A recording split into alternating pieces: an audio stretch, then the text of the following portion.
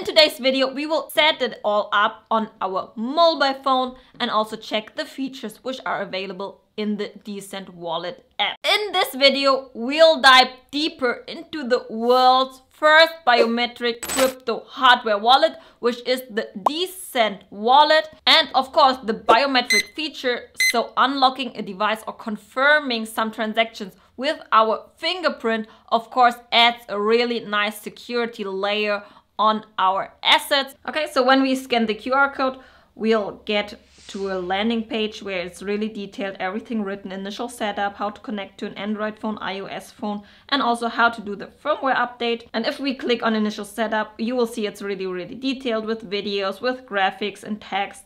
So it's really convenient to set those up even if you are new in the space and you don't know how to do things, you will guide your work. So now let's switch on the device. So on this device, we have here a power button, we have four buttons here, up, down, left, left and right. And also in the middle, we have the fingerprint sensor. Unfortunately, the device was not pre-charged before, so I quickly had to get a wire to charge. So after we can just press on this power button here for a few seconds and we can select our language. We have English, we have Korean, we have Chinese and Spanish. Let's select English, just click on OK you should always create a wallet in my opinion. Recover wallet is only if you already had a D'Cent wallet, for example, but got damaged or whatever it is, and now you want to access your funds again. But you could also use the recover wallet function when you already had a hardware wallet, but you switched to the D'Cent wallet, for example, from the ledger due to the, some security concerns. You can also enter your seed phrase from your ledger to this device and set everything up. However, I do not recommend that you are migrating your old hardware wallet to the new one if you change it for security reasons. And actually I made an entire video about it. So if you don't know what I'm talking about, just check out my other video. So now let's create a wallet together.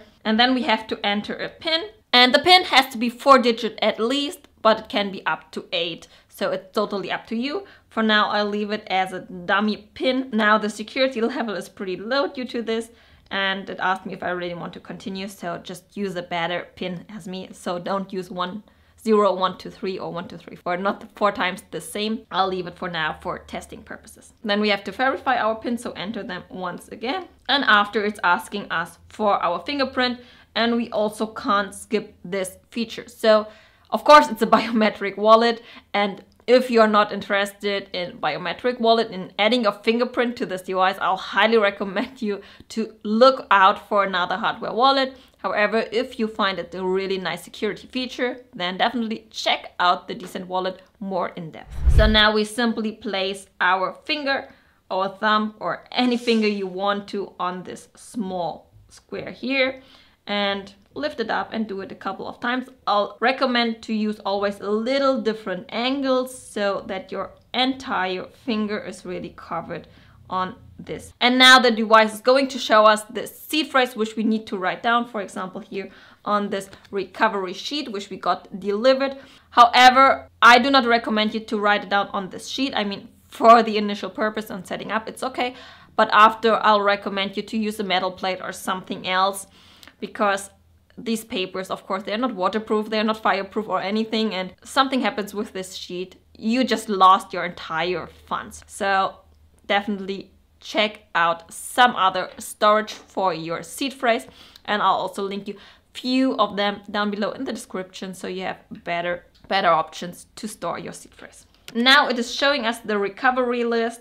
It's 24 words in total and just write it down, click on next always, and once you're done, it's asking you if you already wrote down everything. So we confirm this. And after this, we have to enter our words, which honestly can be quite time consuming and a little bit annoying because like we don't have any touchscreen or similar, but we really have to do it like manually. And now we have to get through all these letters by ourselves. However, those letters which are not available will not be displayed here at all, which makes the workflow a little bit easier because these seed phrases, they are only based on 2048 words from the dictionary which can be chosen. So it's still limited and that's why not every word is available which So it's not any fully random word, but still it's like kind of time consuming here. So I will just confirm my seed phrase and then I'll be right back. And what you can already see here is that it's a really nice portfolio here. So in the app, you can see how many percentage you're holding in Bitcoin, Ethereum, or any other coins or token, which I really love about it. After it is asking us if we already know D'Cent Wallet or have a D'Cent Wallet, so we are selecting no, so we are getting some more onboarding and help from the app. So after this, you will also see that you can select different wallet types. It's the app or software wallet, a biometric wallet, but also a card wallet.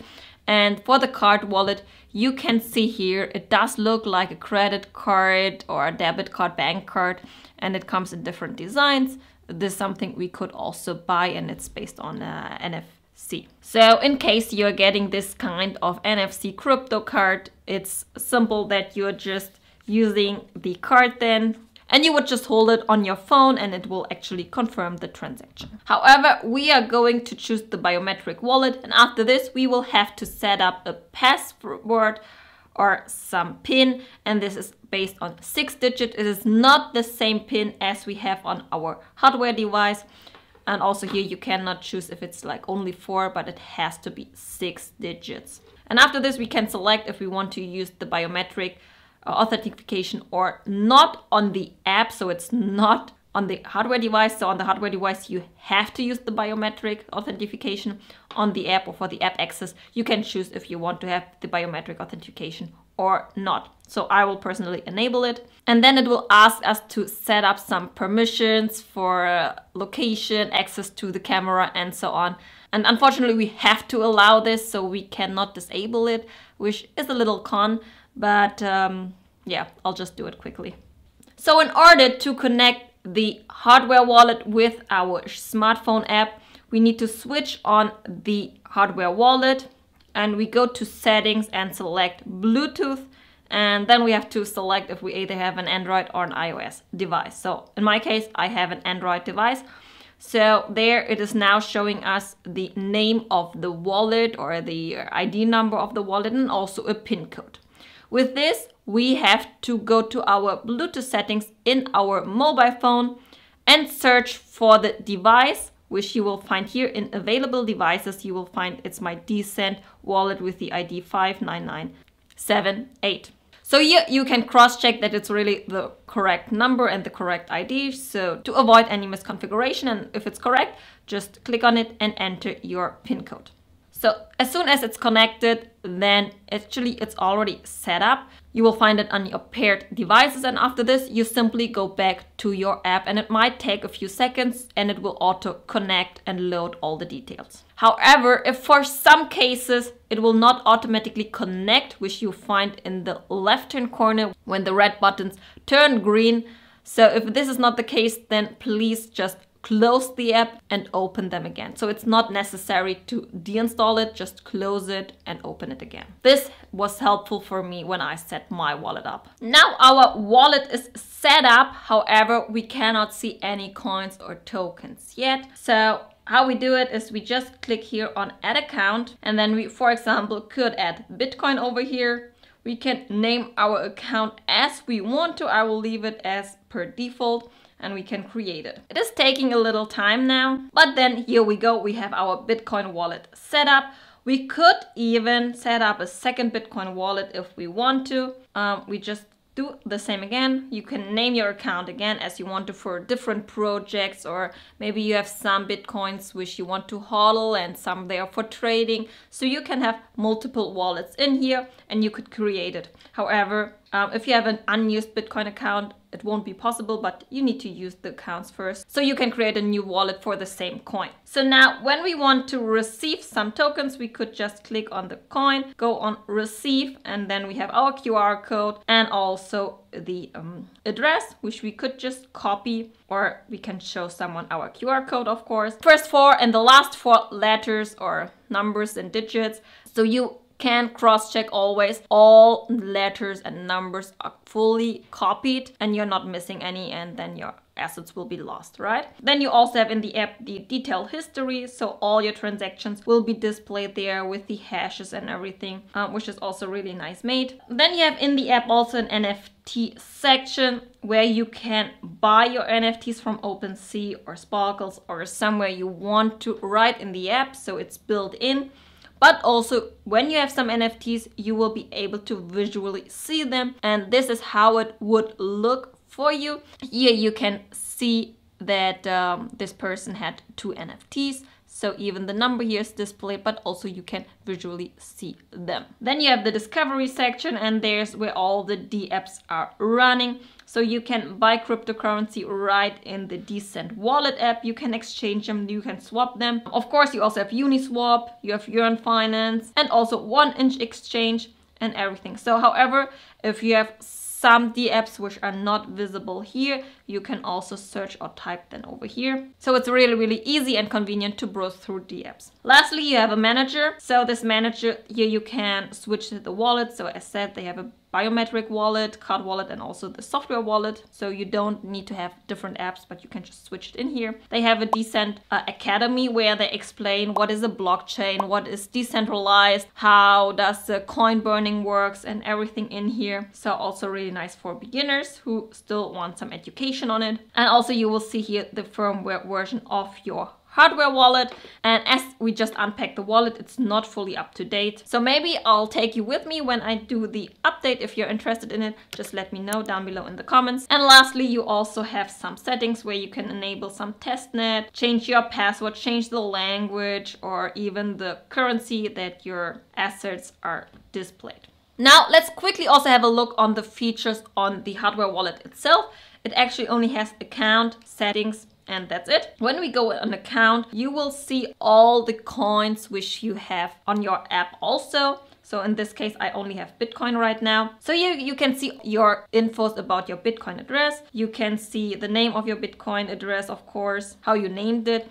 You can see your full address, but you can also display the QR code in case you want to receive some funds. So now if we go on our app and we are hiding the account, then you will see that also in your hardware wallet, the Bitcoin address is disappeared. However, if you still have funds on this address, it is not lost, it's just not visible. And you could at any time go back to add account, search for the account you just deleted, and add it again. So your funds will always be with you. So now one thing which I find really nice is settings. Um, of course you have Bluetooth, you can change the language, but I want to go through the security and there you can change the pin. You can add another fingerprint as said, you can delete your account, you can delete some fingerprints, but also you can add a 25th hidden seed phrase word. And the 25th hidden word is a big security feature. Also, if you want to know more about it, just let me know in the comments. I will do a dedicated video for you explaining you what it is, but also how to set it up on the D'Cent wallet. So that's it for now. Please let me also know in the comments what you think about the D'Cent wallet.